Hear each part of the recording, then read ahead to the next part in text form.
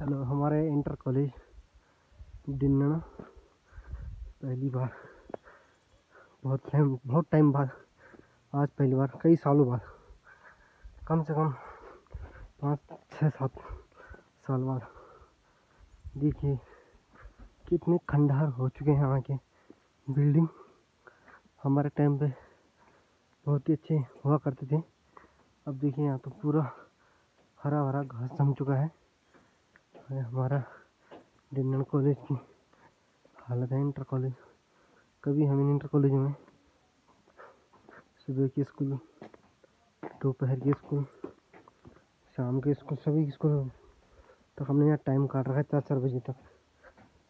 और चार बजे वाले में हम सुबह दस बजे आते थे स्कूल और सुबह वाले में सुबह सात बजे आते थे, बारह एक बजे छुट्टी होती थी।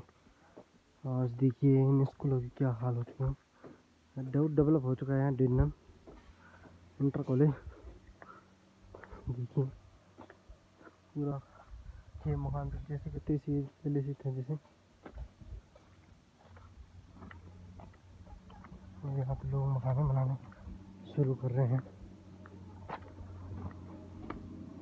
देखिए खिड़कियाँ।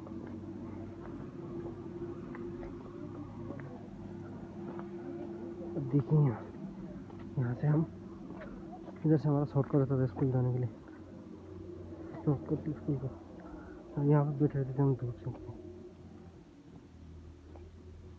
ठीक है? और इधर हमारे सब बहुत बुरी हालत हो गई यहाँ तो। यहाँ हमारा केमिस्ट्री का बोटनी का। जंतु विज्ञान केमिस्ट्री और फिजिक्स का ऑफ़िस होता है हमारा लैब इन लैब में हम पढ़ाई करते थे।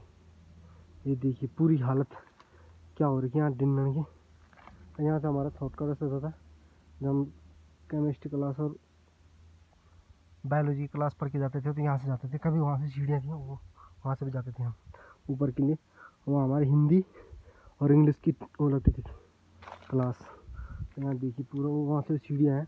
जब हम स्कूल से घर से आते तो स्कूल के लिए प्रार्थना यहीं पर होती थी ऊपर। ऊपर प्रार्थना के लिए जाते थे।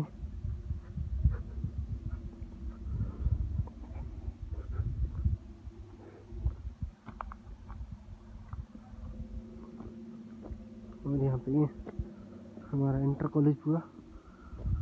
ये हमारे इंटर कॉलेज का ग्राउंड सन 2008 और 9 नौ में हमने इंटर किया। और आठ में हमने एलेवेंथ किया। ये देखिए पूरा इंटर कॉलेज का ग्राउंड ये देखिए हमारा पूरा इंटर कॉलेज कितनी बुरी दशा हो गई ये लॉकडाउन के चलते। जब से स्कूल बंद हो रखे हैं, तब से हमारा पूरा इंटर कॉलेज का बुरा हाल हो चुका है। डिंडन का। यहाँ से हम प्रार्थना के लिए दौड़ते थे, यहाँ से आते थे जब पूरा का पूरा बुरा हाल हो चुका है हमारे इंटर कॉलेज का। चलो बाय दोस्तों, मिलते हैं फिर बाद में अगली वीडियो में।